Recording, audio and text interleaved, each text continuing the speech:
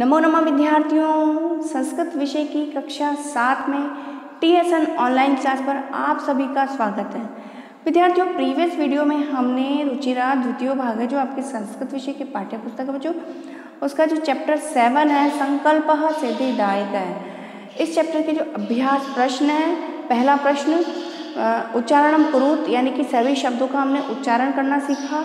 और साथ ही question number two रिक्त स्थानानि पूर्यत। उन सभी फिलअप्स को हमने फिल करना सीखा बच्चों, और समझा, ठीक है? और आज की कक्षा में बच्चों हम क्वेश्चन नंबर थ्री से हम कंटिन्यू करेंगे बच्चों, ठीक है? जो कि पेज नंबर फोर्टी टू पर दिया गया है, ठीक है? तो पे चलते हैं पेज नंबर फोर्टी टू पर। क्वेश्चन नंबर थ्री है, प्रश्नानाम उत्तराणी एक पदे लिखत।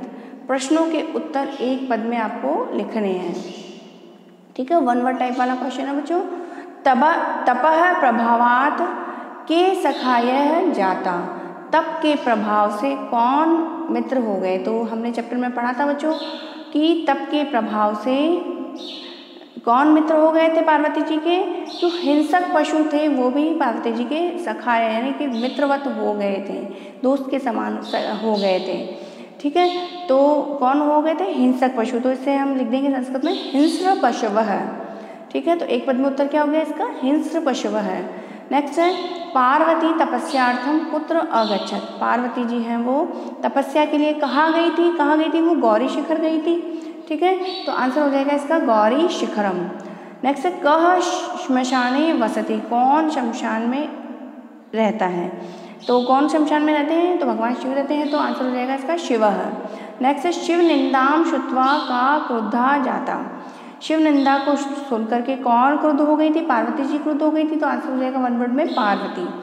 नेक्स्ट बच्चों, वटु रूपेण तपोवनम कह प्राविशत।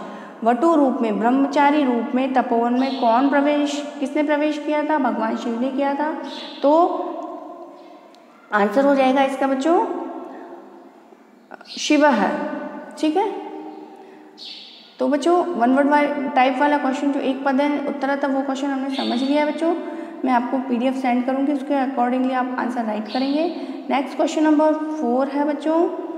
कह का, कम काम प्रति कथ्यति यानी कि किसने और किसको और किसके लिए कहा? यानी हु टू होम वाला जो क्वेश्चन होता है बच्चों, कि ये शब्द किसने कहे और किसके लिए कहे? ठीक है ना? तो सेंटेंस इसमें दिए गए हैं और हमें एक एग्ज़ाम्पल भी दिया गया उसके अकॉर्डिंग तो उसको समझते हुए हम अगले प्रश्नों को हल करेंगे। ठीक है बच्चों? तो एग्ज़ाम्पल दिया गया है यथा करके। वत्से तपह कठिनम भवती। कि, हे पुत्री, तप कठिन होता है। तो हमने चैप्टर में पढ़ा था बच्चों कि ये सेंटेंस जो पार्वती जी की माता है, मैना, उन्होंने कहे थे और किसको कहे थे? पार्वती जी को कहे थे। ठीक है? तो किसने कहे थे? माता ने तो कह, कहा कि वाले कॉलम में हम माता लिखेंगे और कम और काम में पार्वती। ठीक है? नेक्स्ट है। नेक्स्ट है, अहम तप तपह एव चरिष्यामी। मैं तप करने को, के लिए जाऊँ, जाऊँगी। तो ये बात किसने कही थी? पार्वती जी ने कही थी और किसको कही थी? माता मैना को कही थी। तो आंसर हो जाएगा इसका, पार्वती और किसको कही थी? मैनाम नेक्स्ट है, मनस्वी कदापि धैर्य न परित्यजती। जो मनस्वी लोग होते हैं, महान पुरुष होते हैं, बुद्धिजीवी जो लोग होते हैं, वो कदापि यानी कभी भी धैर्य को नहीं त्यागते हैं। ये बात किसने, ये सेंटेंस किसने कहा था? पार्वती जी ने कहा था। किसको कहा था? जो उनकी सखी थी, विजया को कहा था। ठीक है ना? तो जो कह वाला, कह और का वाला जो कॉलम है, उसमें हम पार्वती फिल करेंगे और कम और काम वाला जो कॉलम है, उसमें हम विजयाम लिख देंगे। ठीक है ना? नेक्स्ट है, अपर्णा इति नामना त्वम प्रथिता। अपर्णा इति नामना त्वम प्रथिता। अपर्णा के नाम से भी तुम क्या हो गई? प्रसिद्ध हो गई। ये बात किसने, ये सेंटेंस कही थी? कहा था? विजया ने कहा था। किसको कहा था? पार्वती जी को कहा था। ठीक है ना? तो विजया फिल कर देंगे हम और नेक्स्ट वाले कॉलम में हम पार्वती फिल कर देंगे। ठीक है? नेक्स्ट सेंटेंस है number fourth question number four का।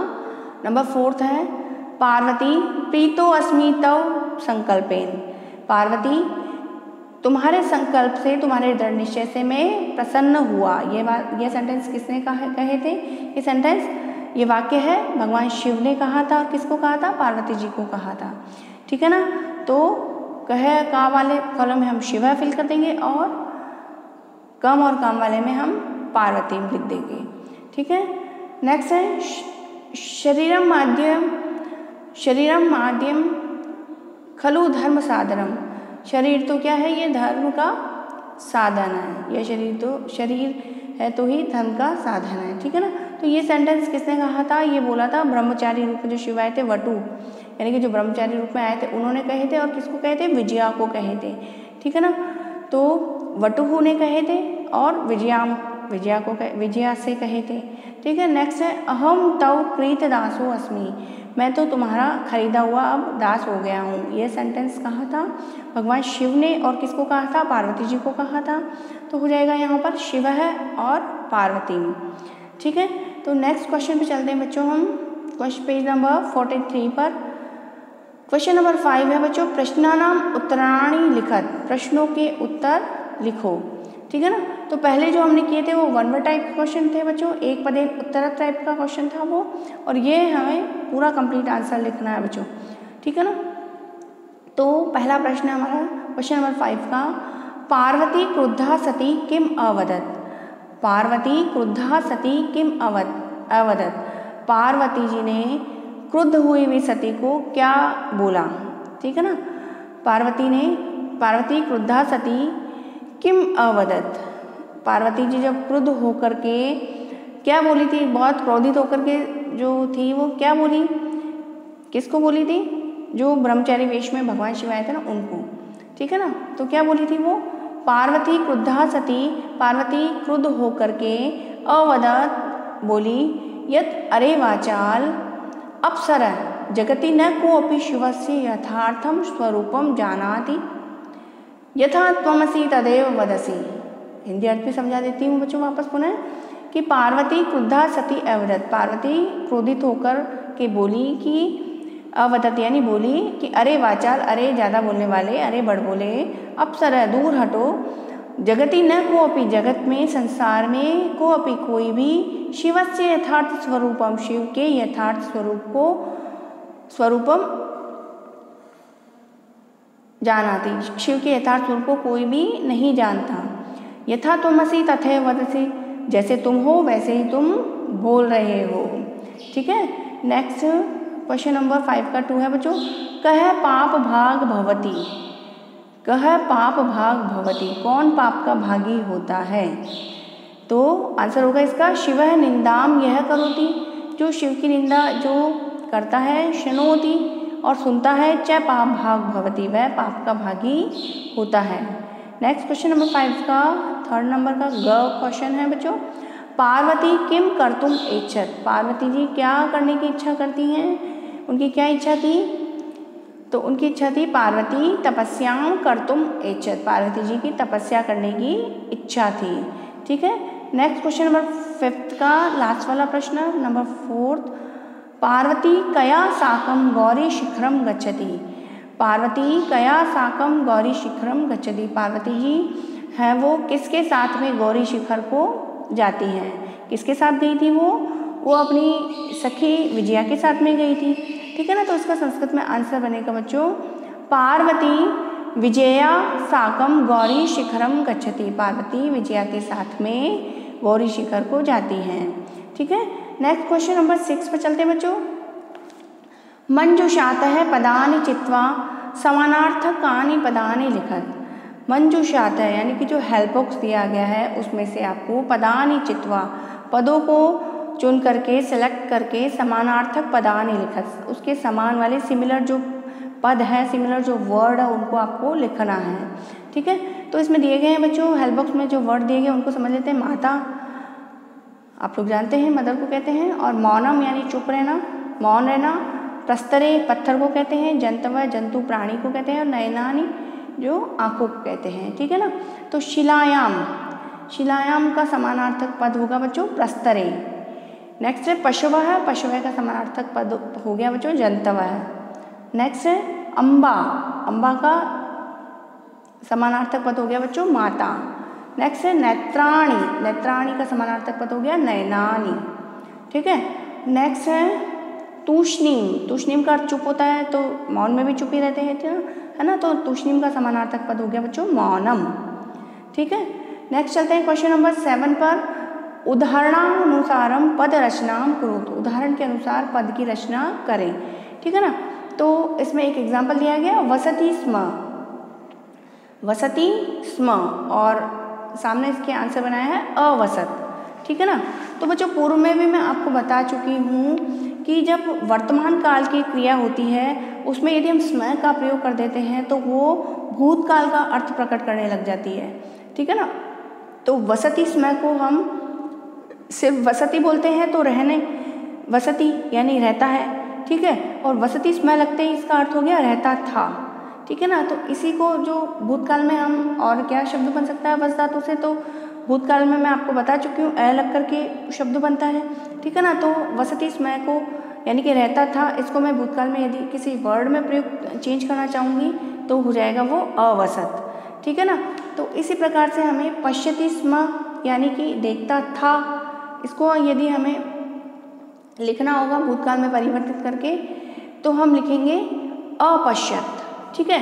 नेक्स्ट है तपति स्म तपति स्म यानी कि तपता था तो इसी का बन जाएगा भूतकाल में लंग लकार में अतपत। ठीक है? नेक्स्ट है चिंति चिंतयति स्म तो स्म नहीं लिख नहीं लिख करके भी हमें यदि सोचता था, इस अर्थ में यदि हमें शब्द बनाना होगा तो हो जाएगा अचिंतयत। ठीक है? नेक्स्ट है वदती स्म वदती स्म यानी बोलता था तो इसको हम और क्या लिख सकते हैं? अवदत। ठीक है?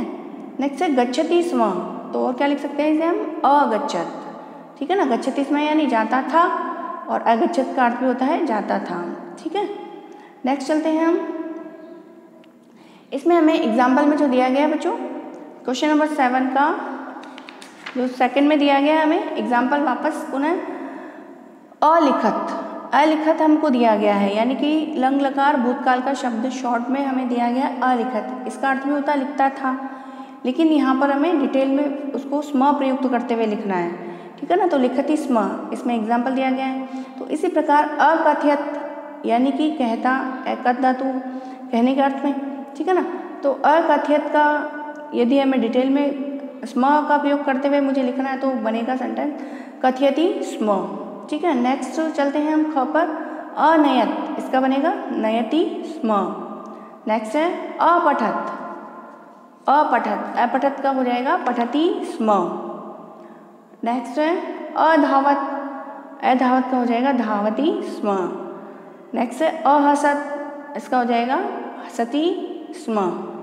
ठीक है बच्चों तो आज की कक्षा में बच्चों हमने जो आपका चैप्टर सेवन है, संकल्प है सिद्धिदायक है, इस पाठ के जो सभी प्रश्न हैं क्वेश्चन नंबर आज की कक्षा में हमने जो question number three four five six और सेवन सभी प्रश्नों को हमने बच्चों समझा, ठीक है? और हैंड रिटन पीडीएफ जो मैं आपको सेंड करूँगी, उसके अकॉर्डिंगली आप सुंदर लिखने में सभी प्रश्नों के उत्तर उत्तर्स को आंसर्स को आप राइट करेंगे बच्चों और साथ ही में उनको सभी प्रश्नों को आप लर्न करेंगे। ठीक है बच्चों? आज की कक्षा में इतना ही बच्चों। अगली कक्षा में फिर मिलते हैं हम नए अगले अध्याय के साथ में बच्चों। ठीक है बच्चों? तब तक के अगली कक्षा में फिर मिलते हैं। तब तक के लिए शुभम मंगलम।